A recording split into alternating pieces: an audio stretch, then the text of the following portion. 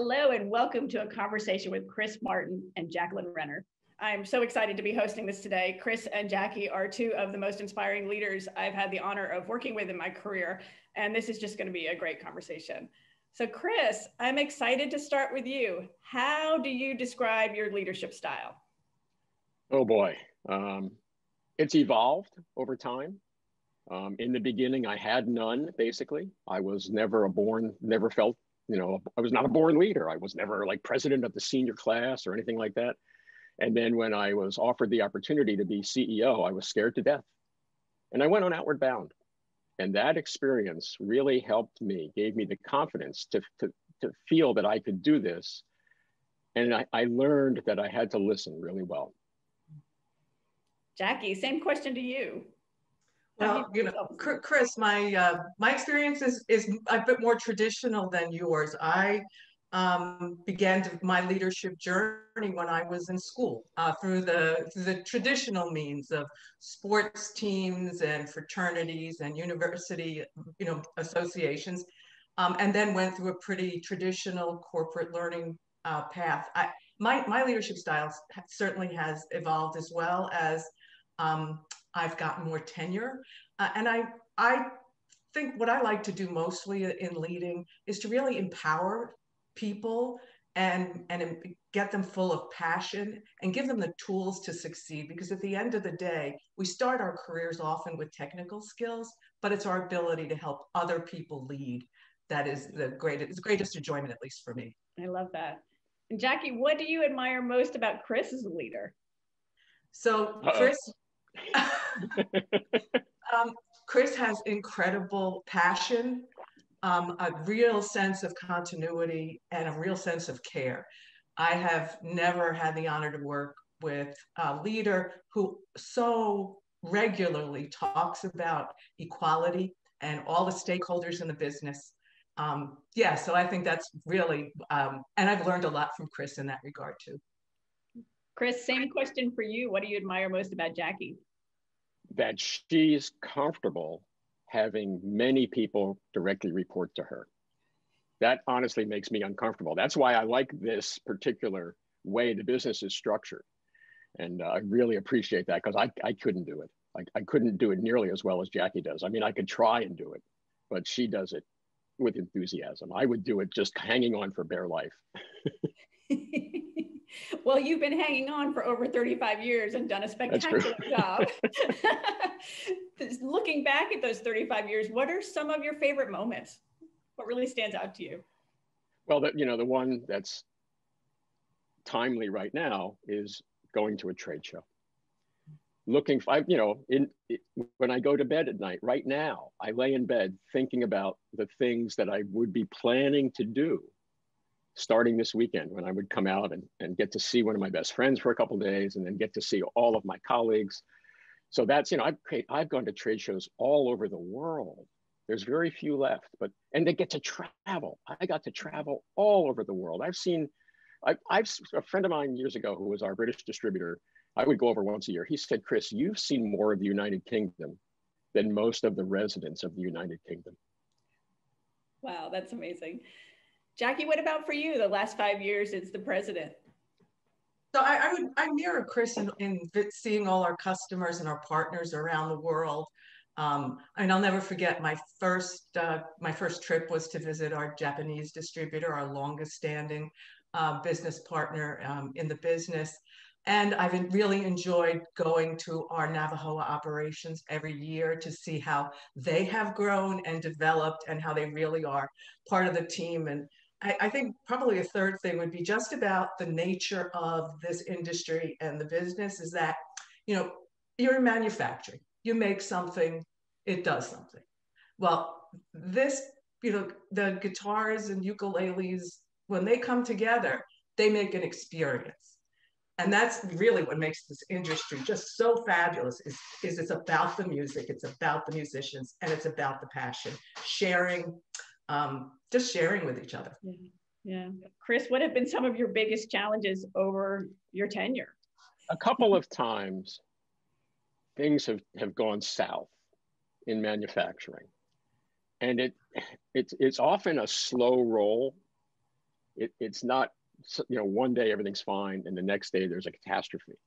But at some point, I take a look at the situation. I go, this is bordering on catastrophic.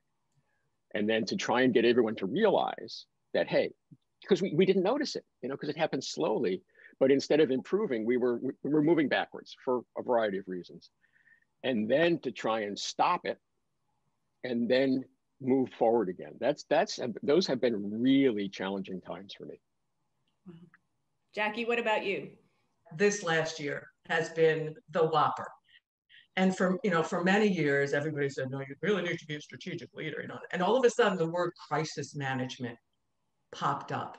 Um, and so the ability for a very um, we're a very traditional company in how we have operated and the, um, the, the the imperative to really shift on a on a dime and really learn to pivot quickly has been in the beginning of challenge, but it was also, and it has been an unbelievable uh, growth experience for people inside the company. New, new, new unexpected leaders have, have cropped up. Teamwork has been is done in new ways, both inside the company and with our and with our business partners around the world. And so, you know, you make some lemonade when you're given lemons. And uh, but but boy, a pandemic, it, it, you know, boom, that was it. I understand. And I, I have to say something. You know, I remember, Jackie, before you joined us, periodically, someone would say, Can I work from home? And we would scratch our head and go, Boy, I don't know. I don't know if we can, how would we accommodate that? How would we let some one person work from home when everybody else is in the office? And so we never really addressed it. We were like, Nope, no, you can't work from home. Now, all of a sudden, we're talking about developing a hybrid work model what an interesting change. Wow. Yeah, yeah. Well, Jackie, speaking of changes, you were the first female president in the history of this company. I'm um, honored to have gotten to work with you. What um, advice do you have for other women who are trying to reach positions of leadership? Well, don't be afraid to be the first, first of all. Just actually don't be afraid. Um, you will learn if you're committed to learning, and you'll grow if you're committed to growing. Um, go from your strengths and, and lead from your heart and your head. And, you know, hopefully you have the opportunity to work with uh, a partner like Chris, who will also help guide you for, to the success of the, of the particular organization that you have been um, invited to lead. That's great. Chris, you hired Jackie as the first female yeah. president. Yeah. What was your motivation in that? Was it setting a um, a, a precedence for your daughter who might one day take over the company? I guess in hindsight, but primarily Jackie was the best candidate. You know, and, and, so that that that's what I saw. And yes, it's probably helped me to be honest. I was raised by my mother. My mother had three kids. She was divorced twice. Um, I married a judge. I've, you know, I'm comfortable around strong women. I appreciate what they bring to a situation, and and it's just it's just Jackie was the right candidate. I love that. Now, Chris, social and environmental stewardship have really been a core of your leadership and the direction you've taken Martin in. What um, what made that so important for you? Why is that an issue that you're passionate about? You know, when I, I look back and I, I would see times when the company would use a material and then for whatever reason couldn't and let's, you know, let's be honest, we used to use real tortoiseshell. Mm. We used to use elephant ivory. Well, all of a sudden you couldn't get it. And fortunately, we were able, and this is a while ago, to find a synthetic alternative to tortoiseshell. I, and in fact, when I do the little thing we're going to do next Thursday live, I'm going to put a call out. Someone somewhere has to have the ability to come up with synthetic ivory. Mm. But anyway, so, and then, you know, as I was getting involved in the business and getting involved in the in the the, the procurement side and, and, paying attention to that, and hearing about the challenges and and the the way things are getting regulated and and it's it's just getting more difficult to get these things that we took for granted. I realized this is not going away. This is not going to get better unless we talk about making it better because we took it for granted.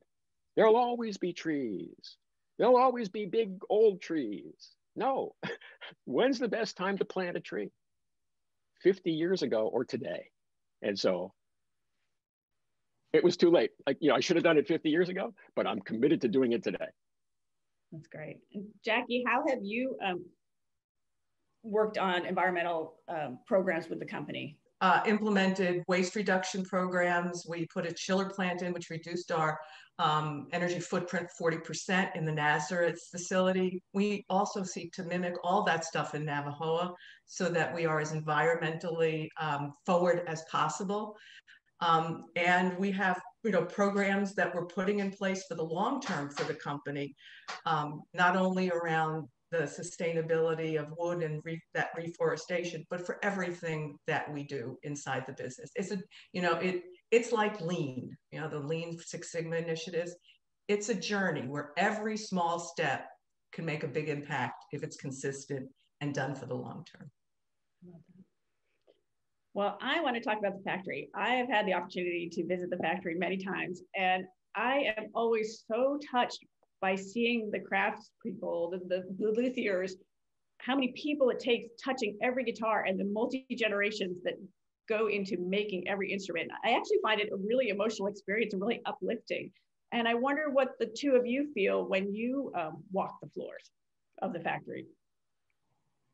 So I'll go because I think I've, I may have done it a couple more times than you, Jackie, just because of longevity.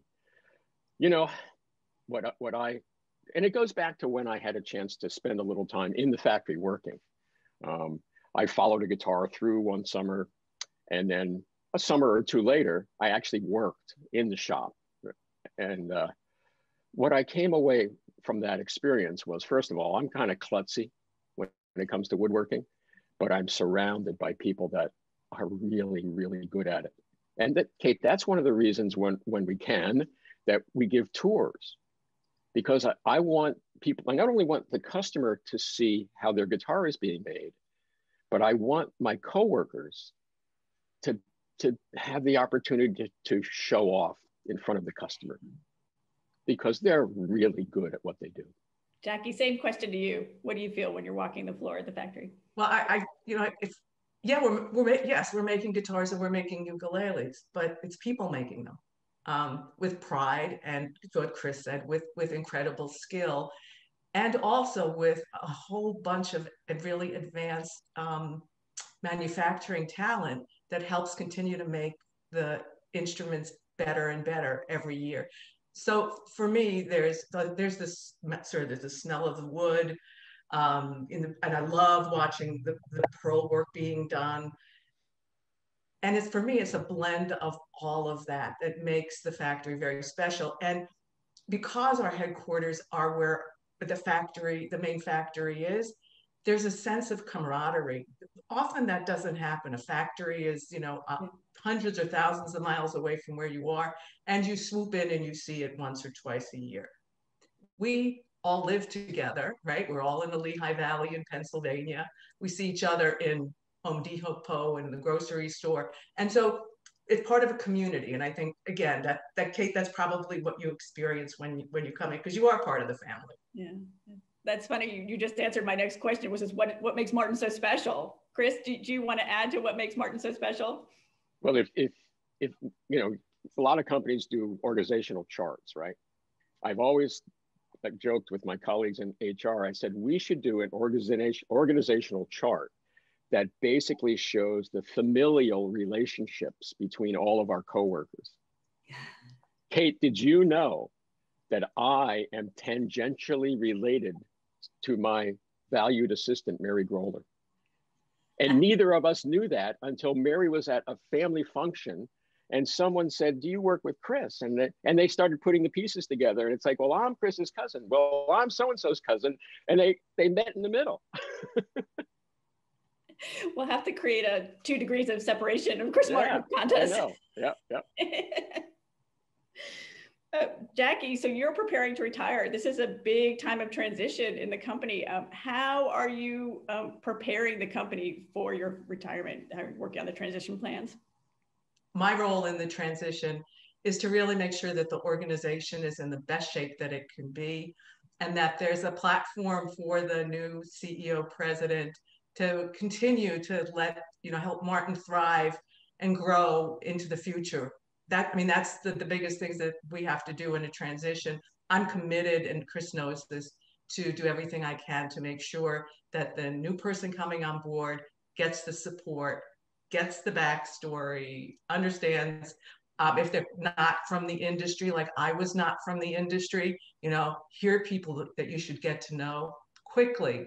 Um, so we're, we're working it hard. We've got a plan. We all know that plans are only as good as the paper they're written on and they change based on reality. So a lot of it'll depend on the, the, the, the final candidate that comes on board.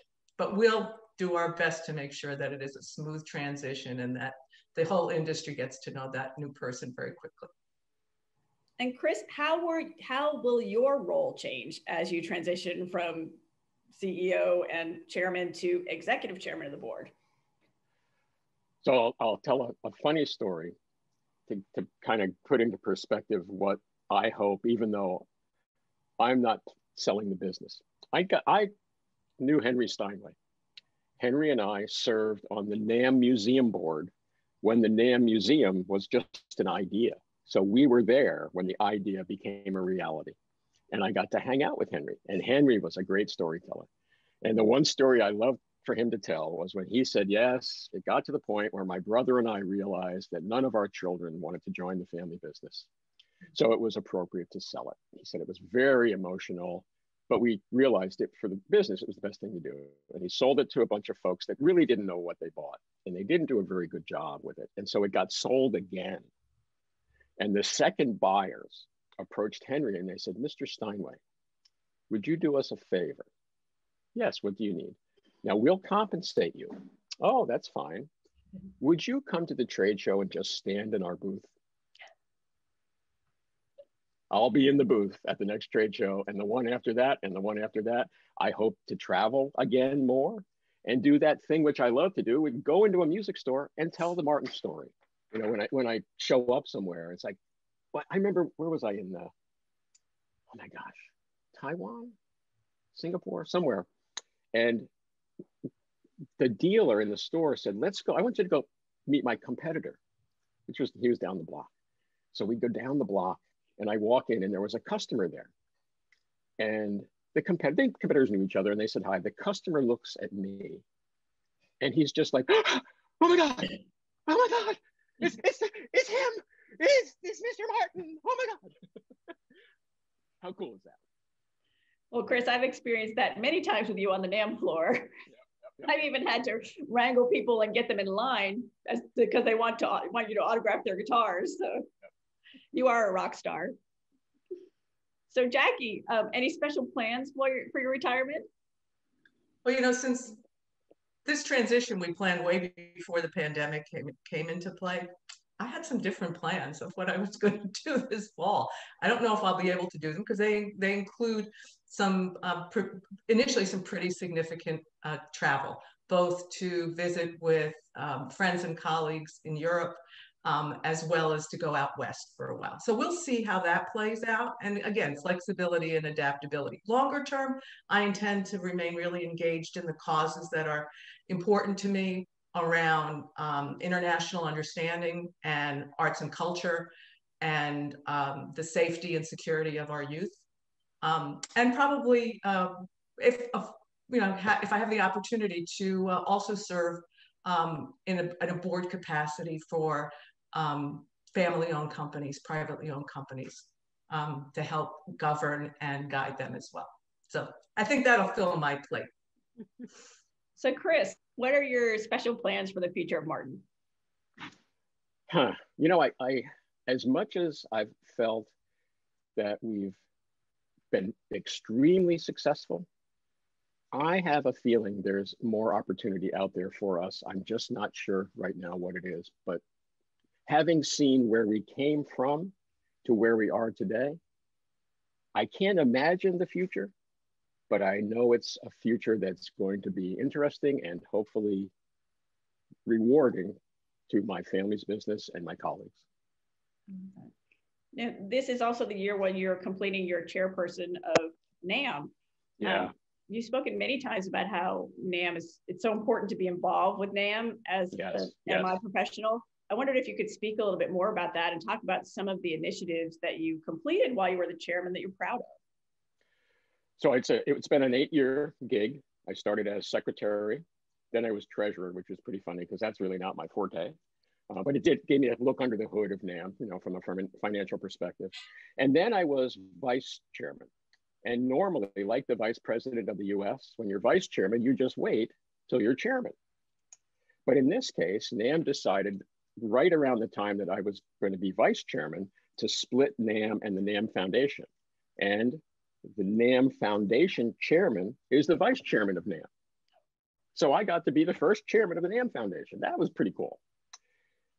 Now, the whole idea was when you're chairman, not only are you an ambassador for NAMM at the NAMM shows, you travel the world with, world with Joe Lamond doing that ambassadorial stuff, thanking our partners in Japan, for example, attending the Shanghai trade show. I didn't get to do any of those. Fortunately, again, as I said earlier, I've seen parts of the world that other NAMM chairmen haven't.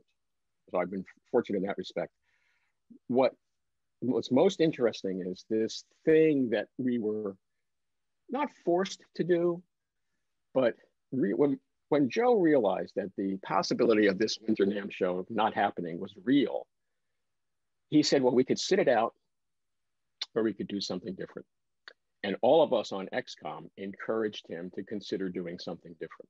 And we've been supporting that effort. And it's been, Kate, when you think about the fact that, you know, for how many years, the focus of this association for the six months coming up to this show is to create this physical trade show and then to pivot away from that and take those human resources and the skills they have and say, instead of doing the thing you know how to do, we want you to do something like it in a digital space. And this thing that we created, this Believe in Music and, and all the software, that so much of that is going to be durable. That this thing we're doing next week, that digital part of it on the internet, we're going to do that again next year. This is not a once and done. Next year, we're going to have a real show and we're going to have a digital, a, a robust digital bolt on. And that, that to me is the most exciting thing that, you know, not being the traditional NAMM chairman allows me to appreciate what's happening right now in NAMM. Yeah, and to be able to take what happens at NAMM and really expand that to everyone in the world. How about it's a great opportunity for the industry. Right. Years ago, Joe was going to interview me on one of the breakfasts, right?